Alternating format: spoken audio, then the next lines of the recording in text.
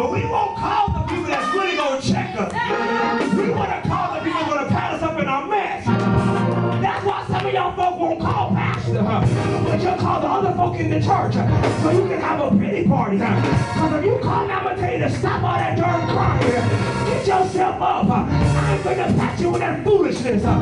Shut up and move. huh? I don't care about you crying. huh? I ain't going especially if you a man. huh? If you better get yourself up, uh, dust yourself up, uh, and move forward.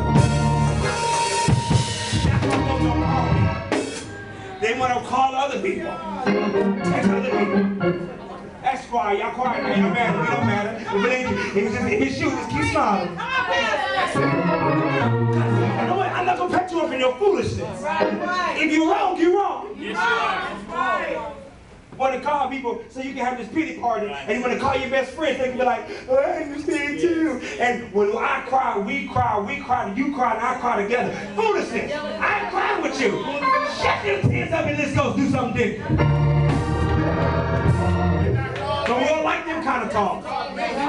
Sister Ronald, we want somebody going to understand. He doesn't understand me. He ain't got no compassion. No, I do got compassion. I'm telling you, stay right there, you're going to die for your long-term soul. Now I understand you feel bad right now, and I'm empathetic with you, but I ain't finna sympathize with your foolishness. Now get up. Yes, it broke up with you. So what? Now we got to do something different.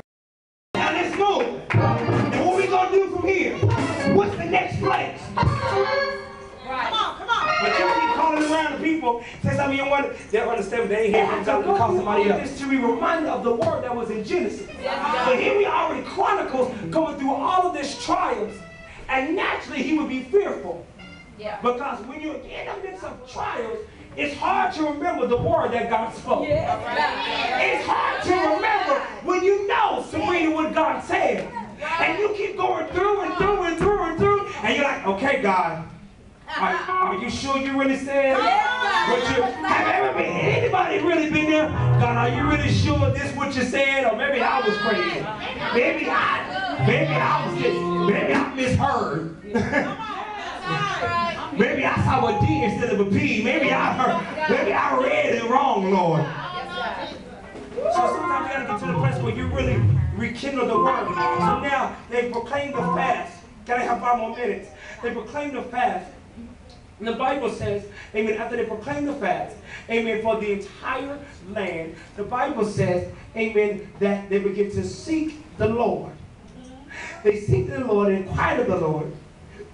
And the Bible says, amen, that as he began to pray and remind God of the things that he had done before in the past, uh, uh, he said, how dare you allow this to happen to us now? Uh, now here in verse 10 are the people of Ammon, Moab, and Mount Seir, whom you would not let Israel invade, uh, come out of the land of Egypt, but they turned from them and did not destroy them. Here they are rewarding us by coming to throw us out of your possession, which you have given us to inherit. Oh God, will you not judge them? Um, well, we don't have the power to come against them. Huh? Nor do we know which way to go. Come on, somebody. I'm paraphrasing. We now verse 12. Huh? Verse 13 it says, Now all Judah with their little ones, their wives, their children, stood before the Lord. The Spirit of the Lord came and gave them the word. And says, Listen, all you of Judah and the inhabitants of Jerusalem. Uh-huh. And you, King Jehoshaphat, thus said the Lord, do not be afraid nor dismayed because of this great multitude. For the battle is not yours, but God's. Tomorrow, go down against them. Uh-huh. They will surely come up by the ascent of Ziz, and you will find them at the end of the brook from the wilderness of Jerusalem. You will not need to fight in this battle. Position yourselves, stand still, and see the salvation of the Lord. Oh, yes. Do not fear or be dismayed. Tomorrow, go out against them, for the Lord is with you. The Bible says that they began to praise the Lord. There was up early in the morning. They appointed the uh, praisers. I'm paraphrasing, I got to end this. They begin to sing praises. And the Bible said the Lord said in verse 22, ambushments against the people of Ammon, Moab, and Mount Seir, uh-huh. who had come to defeat Judah, and they were defeated. And not only were they defeated, as we keep on going, the Bible says in verse 25 that the people came to take away the spoil, and they found among them an abundance of valuables. My God, on the dead bodies and precious jewelry, which they shipped off for themselves, more than they could carry away. And they were three days and gathering the spoil because there was so much. What are you saying? The word of the Lord is saying now, there was a high praise that has went through this house today. The Lord said, why? Because I am changing the situation that you're in. Oh, yes, some of y'all missed it. The reason that you could not, you felt like I just couldn't sit down, I had to let this praise out. Because Elder Johnson, the Lord said there's a lot of things that are coming against us. One after one, name after name, uh, right behind each other. When it's, you're about to lose your mind. But God said today, I sent the prophet uh, to come and remind you of what he said. Uh, he promised you to be the head and not the tail. He promised you to be the lender and not the borrower. He promised you you was going to be healed. He promised you your marriage is going to be blessed. He promised you you was going to have abundance in your house. He promised you your children to act right. He promised you your family to be saved. He promised you you're to have blessed coming in and be blessed going out. Blessed in the city. Blessed in the field. That your storehouse to be blessed. He promised you abundance. He promised you missionary that you won't have to struggle our ways. He promised you that this time you was to be happy. He promised you that you ain't going to have to cry no more.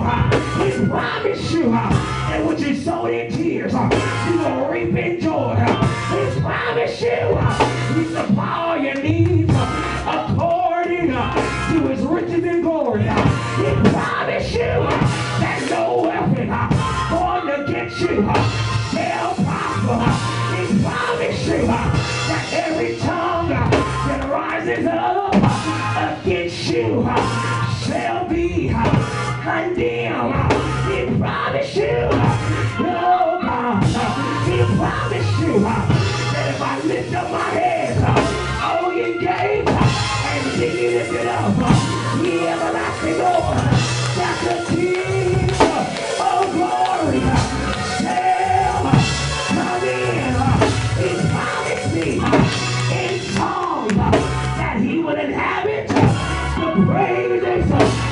his people.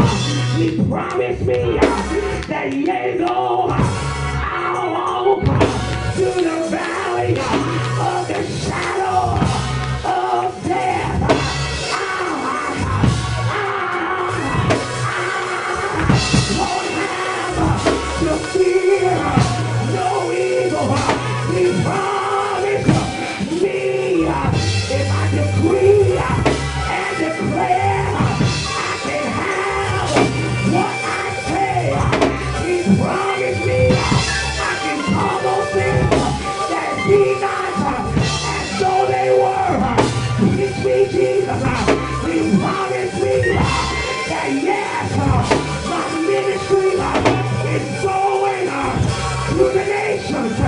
He promised me